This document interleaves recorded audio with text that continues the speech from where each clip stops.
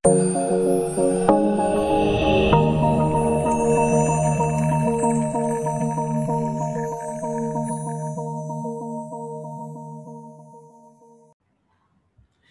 ketemu lagi di channel Belajar Bersama Pak Seno. Nah, kali ini kita akan membahas tentang organisasi, manajemen, dan lingkungan di dalam manajemen. Oke, nah kita akan definisikan terlebih dahulu tentang organisasi. Nah, organisasi itu adalah suatu pengaturan orang-orang secara sengaja untuk mencapai suatu tujuan tertentu.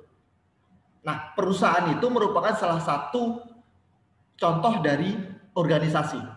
Nah, jadi kalau Anda memasuki ataupun Anda ikut memasuki suatu organisasi ataupun Anda bekerja di suatu perusahaan, ya maka Anda pasti akan mempunyai target. Kenapa Anda mempunyai target? Karena perusahaan juga sudah mempunyai tujuan yang telah ditetapkan sebelumnya. Nah, ciri-ciri dari organisasi yang pertama adalah organisasi pasti mempunyai tujuan ada berbagai macam tujuan dari organisasi ataupun perusahaan. Ya, tujuannya yang pertama adalah profit. Ya.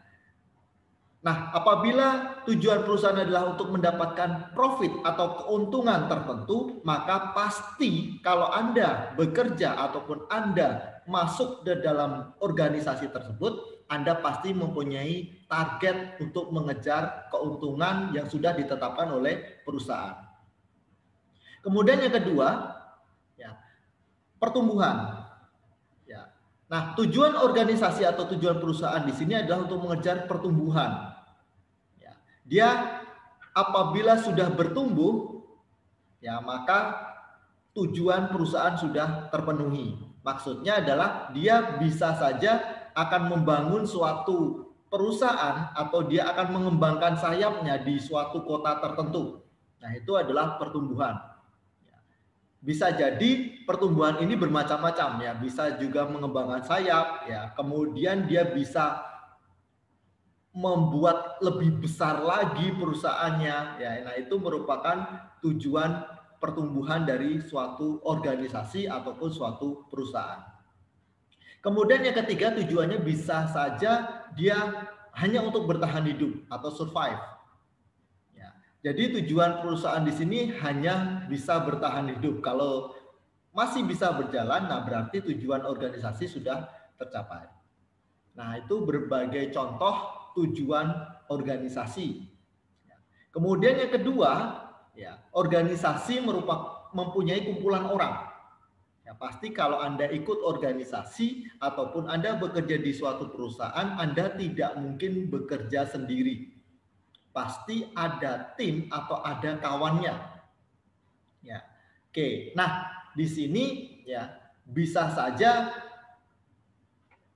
lima orang, sepuluh orang ya ataupun seratus orang dan lain sebagainya.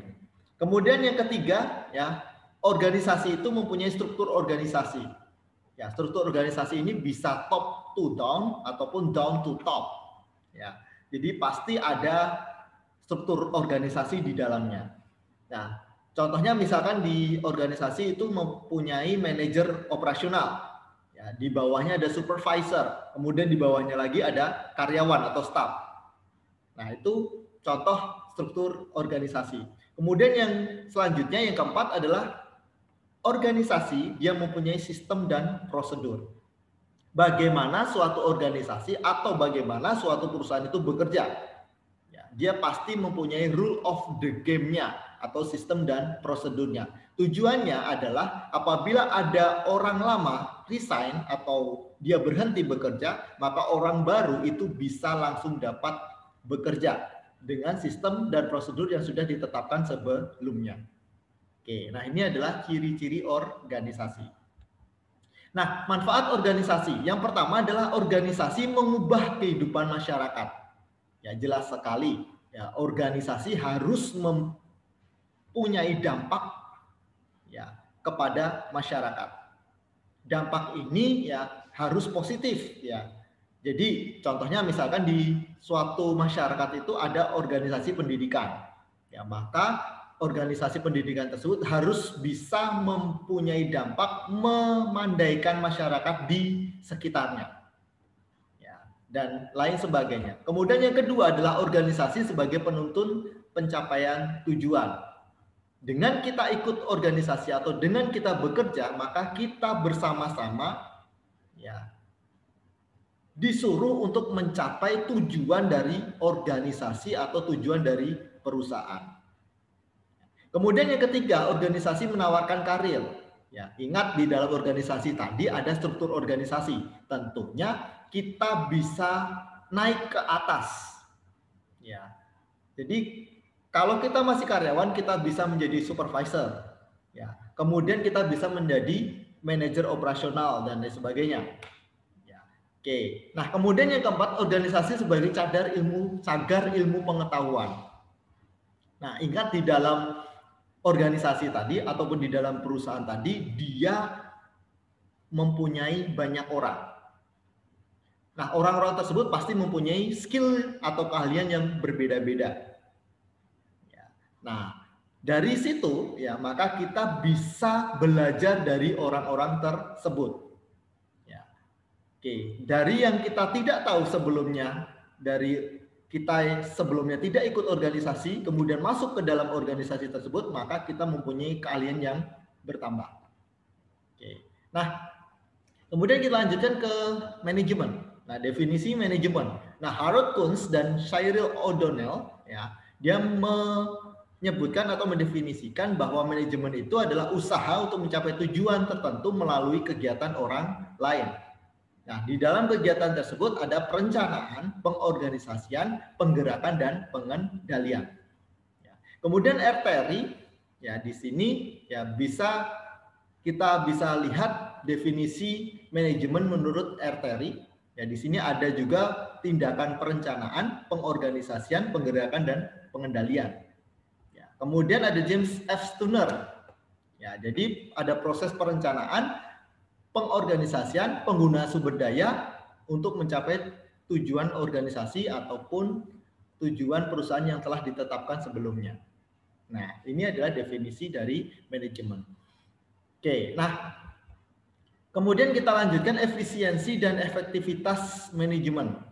Nah, seorang manajer atau seorang manajemen yang sukses itu harus bekerja secara efektif dan efisien. Efektif di sini adalah tujuan atau sasaran perusahaan itu tercapai. Ya. Kemudian selain efektif, ya juga efisien. Nah, maksudnya di sini adalah kita menggunakan sumber daya yang ada ya tanpa ada pemborosan di dalamnya. Ya, jadi kita gunakan sumber daya seefisien mungkin ya untuk mencapai tujuan yang sudah ditetapkan oleh perusahaan sebelumnya. Ya, itu adalah manajemen yang sukses. Ada kalanya kita bekerja efisien tetapi tidak efektif. Maksudnya adalah kita sudah menggunakan sumber daya yang kita miliki, tetapi tidak mencapai sasaran yang sudah ditetapkan oleh perusahaan. Begitu juga kita sudah bekerja secara efektif, tetapi tidak efisien. Ya, kita sudah mencapai sasaran atau tujuan yang telah ditetapkan oleh perusahaan, tetapi banyak sekali sumber daya sumber daya yang kita gunakan, tetapi terjadi pemborosan di dalamnya Ya, ini adalah kegiatan efektif tetapi tidak efisien. Nah, untuk manajemen yang sukses itu harus bisa bekerja secara efektif dan efisien. Nah, kemudian kita lanjutkan, ada fungsi dan proses manajemen. Nah, fungsi dan proses manajemen itu ada planning, organizing, leading, dan controlling. Nah, planning di sini adalah perencanaan. Ya, jadi dia akan menetapkan tujuan perusahaan sebelumnya, ya tujuan perusahaan itu mau ke mana. Kemudian setelah itu dia akan menetapkan langkah-langkah strategis apa yang akan digunakan untuk mencapai tujuan tersebut. Ya, itu adalah planning. Kemudian yang kedua adalah organizing. Nah, setelah kita menetapkan tujuan atau target, maka kita akan menentukan bagian-bagian di dalam organisasi. Ya, bagian-bagiannya apa saja? Ya, siapa yang bertanggung jawab di dalamnya? Tugasnya apa? Kemudian prosedurnya atau rule of the game-nya seperti apa. Kita tetapkan semuanya di organizing. Nah, setelah kita melakukan pengorganisasian atau organizing di dalamnya, ya maka kita akan leading.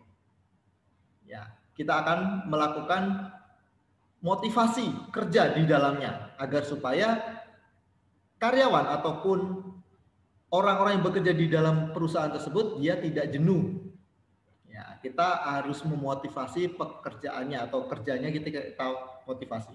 Kemudian setelah itu kita controlling, ya. Kita tetapkan standar kerja atau standar prestasinya, ya. Kemudian kita ukur prestasi kita selama ini, kemudian kita bandingkan antara prestasi yang kita ukur saat ini dengan standar kerja yang sudah kita tetapkan. Kemudian yang keempat baru kita bisa melakukan reward and punishment. Ya, kita berikan reward atau hadiah dan juga punishment ya. Mungkin bukan punishment atau hukuman tetapi kita bisa membimbing lagi karyawan yang ada di dalam organisasi ataupun karyawan ada di, di dalam suatu perusahaan. Kemudian bidang-bidang di dalam manajemen ada marketing, operasional, human resource dan finance. Ya, marketing di sini ada pemasaran, operasional adalah bagian operasional, operation ini adalah bagian operasional, kemudian human research ini adalah bagian sumber daya manusia, dan finance ini adalah bagian keuangan. Nah, tingkatan dan tanggung jawab manager. Ya. Nah, di top manager ini tanggung jawabnya adalah dia menetapkan tujuan, strategi, kebijakan perusahaan secara umum. Ya, strateginya seperti apa, kebijakannya seperti apa, ya, rule of the game-nya seperti apa. Ya, itu adalah tugas dari top manager. Kemudian diturunkan ke middle manager. Nah, middle manager ini adalah yang mengawasi unit kerja di bawahnya. Ya, mengawasi unit kerja di di bawahnya. Ya, kemudian ada first line manager. Nah, first line manager ini adalah orang di bawah middle manager yang bertanggung jawab atas satu unit kerja. Ya. Nah, ini adalah tingkatan manajer dan juga tanggung jawabnya. Mungkin itu saja ya pertemuan kali ini. Terima kasih.